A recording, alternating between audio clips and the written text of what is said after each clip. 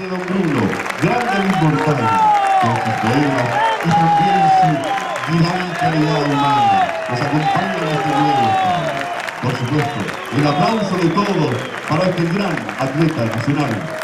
Un homenaje a don Bruno en sus 84 años de vida. Un homenaje con el pabellón nacional, con el tricolor de la patria.